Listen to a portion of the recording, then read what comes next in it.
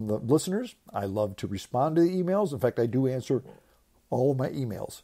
Um, if you want to get the podcast the best way, heck, you can go to uh, any place you get podcasts, you'll find it there.